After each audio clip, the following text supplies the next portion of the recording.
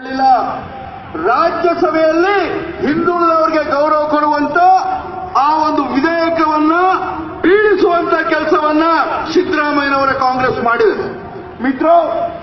नरेंद्र मोदी सरकार जब से बनी है इस देश के गरीबों के लिए दलितों के लिए आदिवासियों के लिए पिछड़ों के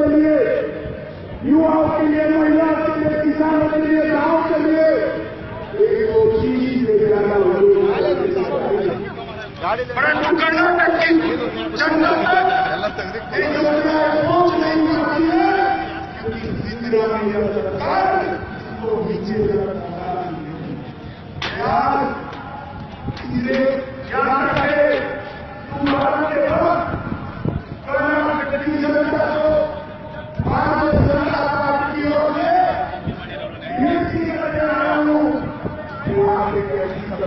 ये